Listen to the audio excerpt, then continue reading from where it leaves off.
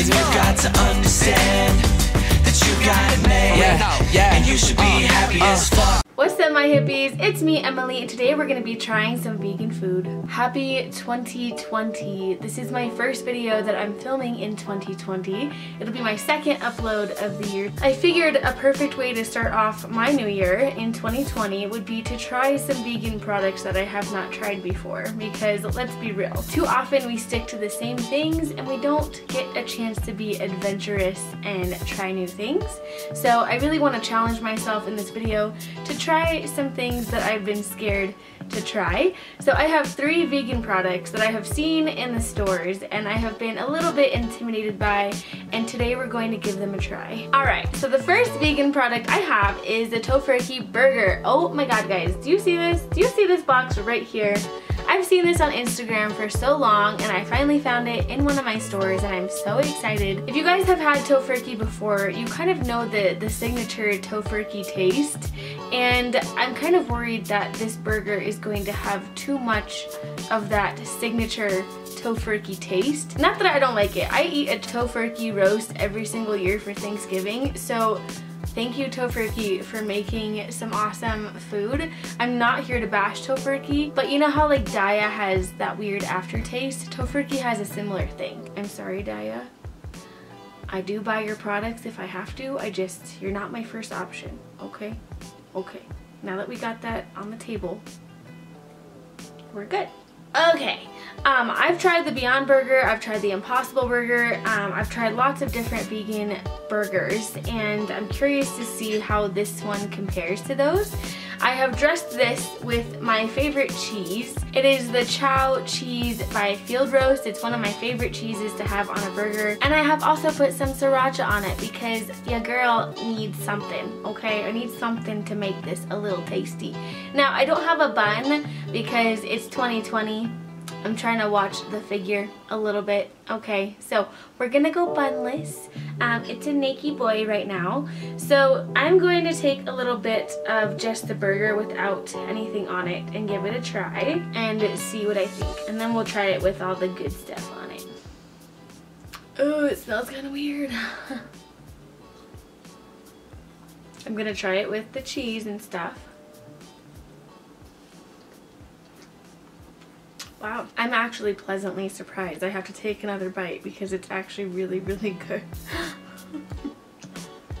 mm. Well, I cleaned my entire plate. It was actually really, really, really good. Okay, thoughts. In each package of the Tofurky burger, you get two burgers, and I think this was about, I want to say about $6. So it's a lot cheaper than buying the Beyond Burger. The Beyond Burger goes for about 8 to $9 for two patties. Was this the closest thing that I've had to real meat? No. Was it really, really good in flavor?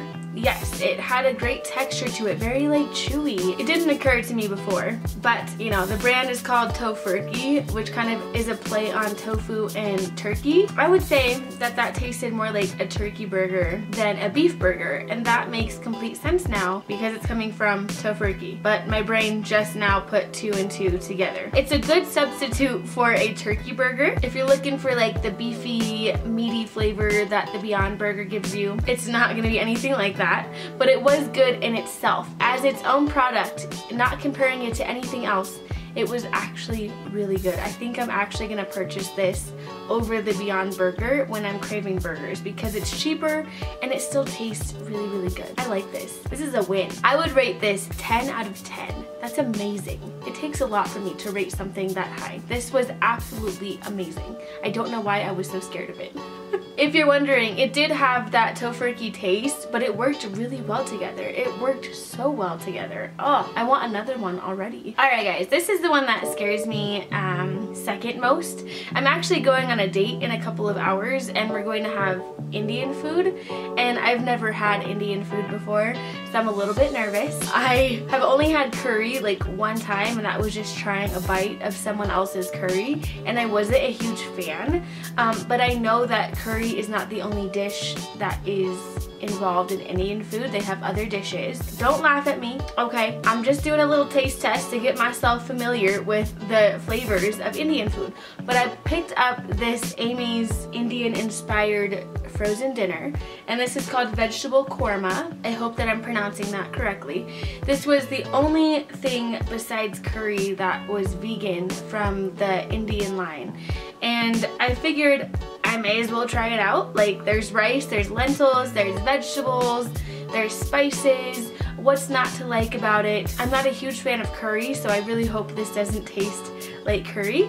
But if it does, then I will know to kind of maybe get something else when I go out to eat. I don't want to sit here and say that this is a good representation of Indian food, so I don't mean to say that this is classic Indian food. It's just for me to try and get a taste for it.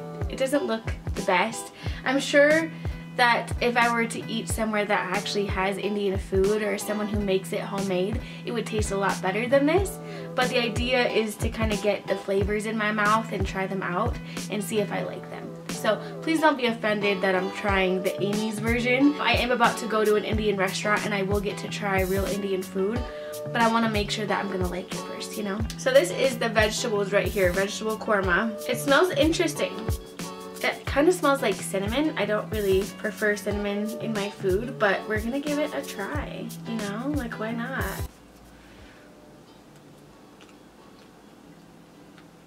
Okay, I think there is cinnamon in here.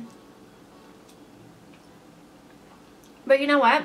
It's not bad at all. It kind of has like a Moroccan feel to it. I've had Moroccan food I don't know if Moroccan and Indian food are closely related, but this has like a taste of Moroccan food. I'm gonna move to the rice. The rice reminds me of um, Mediterranean rice, the yellow rice that you get in Mediterranean restaurants. So I'm curious to see if it's the same flavor or not.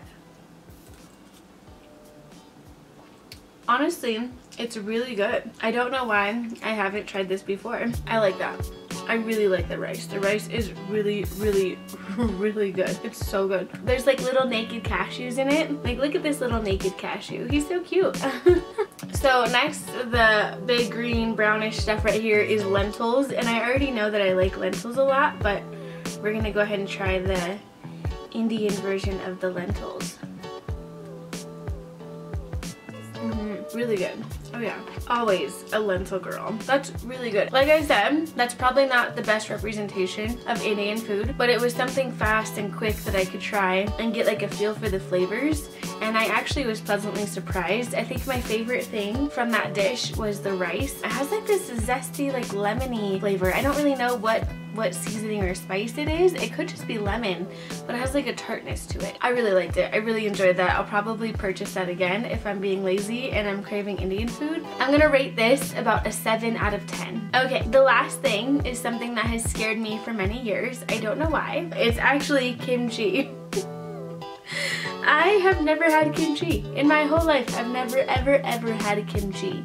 Now, if you know, Kimchi is usually made with fish or like some kind of fish sauce and I never liked fish so maybe that's why I never ate kimchi but I found a vegan one at Target and you know I'm curious. I'm a curious cookie. And yeah, I, I know that like sauerkraut and kimchi and like pickled stuff can be really good for your health. It's like basically, oh, it's bubbling. Oh my God, I'm terrified.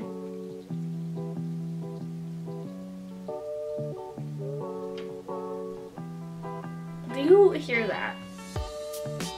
Is it supposed to do that? I'm so scared right now. Like, my kimchi is literally alive. This is why I was scared of this over anything else. I was not expecting it to bubble. Nobody warned me. Why did nobody warn me about kimchi bubbling when you open it? I love Asian food and Japanese food. I love stuff like that. Um, this is just something that I, I don't know if I'm gonna like. I can smell it and it doesn't smell very good. I'm not trying to be rude. We all have different preferences, different taste buds. So Please don't judge me if I don't like this or if it's not my preference. It smells really spicy. Okay, basically what kimchi is, is it's like pickled cabbage and vegetables. So it can't be that bad. I think I'm just making a big deal out of it because it was it was bubbling and that kind of freaks me out. So we're gonna give it a little try.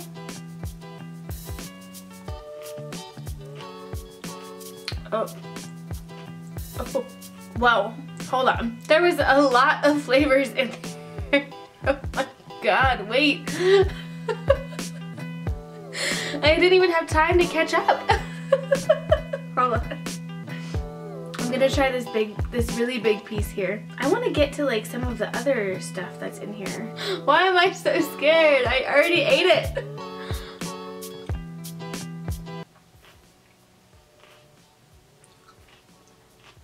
It's not terrible. I kind of just don't have any words to describe it. Now this is the only brand of kimchi that I've tried. I don't know if every single brand is the same or tastes the same. I'm sure they all taste different. It's like fizzy. So like when you're eating it, like whatever is making it like bubble and fizz, like that kind of goes on in your mouth. And I don't know if I like that. Another thing that I don't really prefer about it is the texture. This is cabbage that's pickled. When you soak it in vinegar and spices, it's just gonna sit there and soak all of that up up and become soggy. So there are crunchy bits in there, crunchy bits of the cabbage, but you also get like really soggy bits of cabbage as well. And I don't know if that's a texture that I really like that much. The flavor of it was not bad, so it has a very strong chili powder taste to it. Really good flavor. So yeah, the things I didn't like about it were the fact that it was cold cabbage, that was fizzy and a little bit soggy, but I did like the flavor. The flavor was really good. I will probably think of something to eat this with. I'm sure it's not a main dish on its own. I think you eat it as kind of like a side dish. And maybe I'll have to do some research on what to eat kimchi with and maybe I'll enjoy it a little bit more then. But I don't know if it was something that I would ever purchase again. I'm gonna rate this a 4 out of 10. We did it. I tried three things that terrified me and I liked two out of three of them. I think the Tofurky burger was my favorite. I'm really proud of myself. I am extremely proud that I got to try a few items that kind of made me feel uneasy and I conquered that. It's something that I want to do from here on out. Since I went vegan, I've experimented with different flavors, different cultures, and I have found that I really love Mediterranean food, Asian food. So I'm really excited that I can maybe add Indian food in there as well. But anyways, I'm really proud of myself for trying these. If you know what to eat kimchi with, please let me know down below because I've never had it before. I don't know what to eat it with, and I would like some suggestions on that as well. Is there food food out there that scares you to try? If so, let me know down below. I'm curious to find out what scares you and if you would be willing to try it if you had the opportunity. I do appreciate you guys being here. I hope you enjoyed this video. If you did, please don't forget to like and subscribe to my channel. I put out new videos every Friday. I hope you guys are having a great weekend and I will see you in the next one. Goodbye!